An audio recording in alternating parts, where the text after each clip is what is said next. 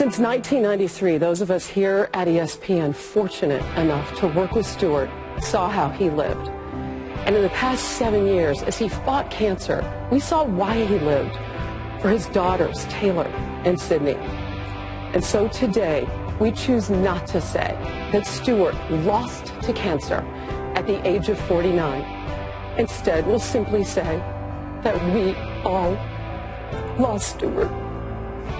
Here's Robin Wells.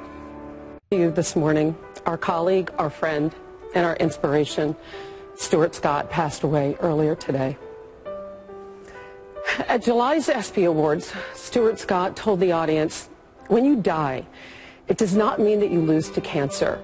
You beat cancer by how you live, why you live, and in the manner in which you live.